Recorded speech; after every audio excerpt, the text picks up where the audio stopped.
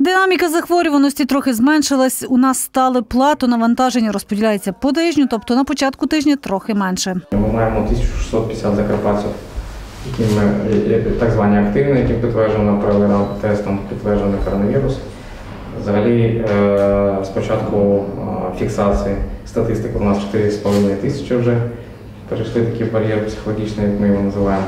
Але останнім часом бачимо, що динаміка е, трохи зменшилась. У нас такий більш-менш сталий так званий е, е, плато, ми його називаємо. Останні два тижні спостерігається зменшення кількості показників хворих на коронавірус. Може йти мова й про пом'якшення карантинних обмежень. Це буде стосуватися в першу чергу можливості функціонування басейнів і спа-зон в закладах рекреаційного, курортного, туристичного напрямку.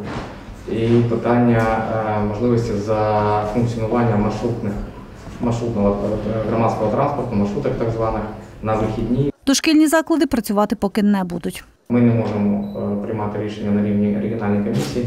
Всі ці повноваження на себе взяла Державна комісія ТФТНС, і саме 392 постанови Кабміна визначено заборону на функціонування оздоровчих і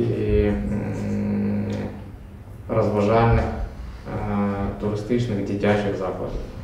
Досі залишається заборона на курсування регулярного міжобласного транспорту. Це не стосується нерегулярних туристичних сполучень. Олексій Петров каже, пішли на зустріч підприємцям. Тож працювати ресторани і кав'ярні можуть з допуском гостей всередину. Тож пішли їм на поступки і щодо тривалості терміну роботи. Як складатиметься ситуація з карантином в області, повідомимо далі.